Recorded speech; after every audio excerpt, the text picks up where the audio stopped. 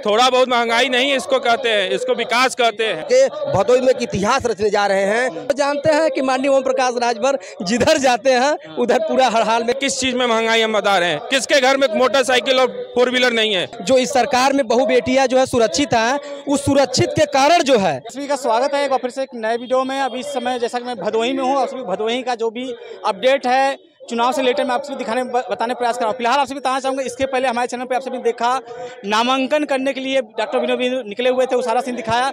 और इनका रैली है रैली में देखिए तमाम यहाँ पर आ, लोग आए हुए हैं और उनसे हम बात करने का प्रयास करेंगे क्यों समर्थन कर रहे हैं कहाँ चल के आए बहुत सारी बातें हैं वो हम सारी बातें करने का प्रयास करेंगे। तो आइए बात करते हैं सबसे पहले आपका स्वागत है।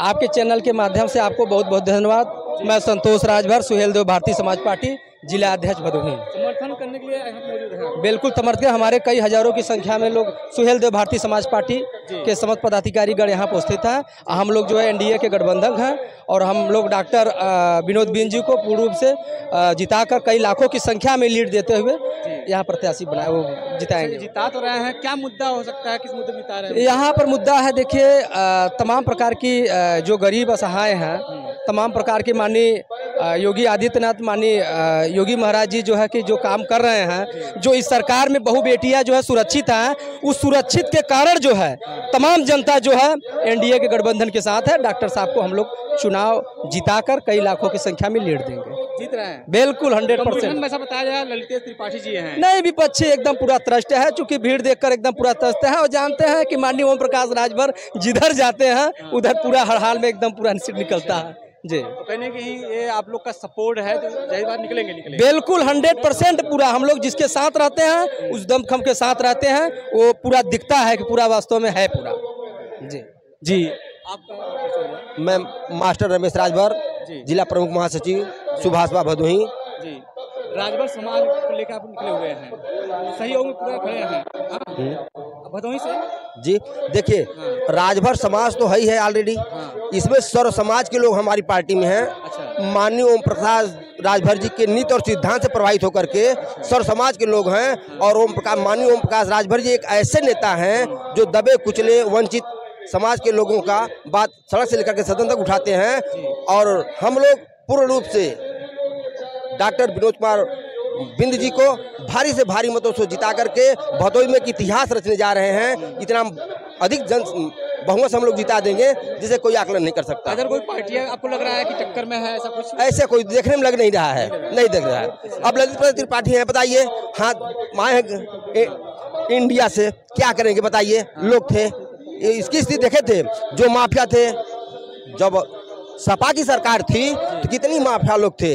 आज वो माफिया रास्ते छोड़ करके जो बहन बेटी और सुरक्षित थी आज सुरक्षित है योगी राज में मोदी राज में। तो इससे ठीक है।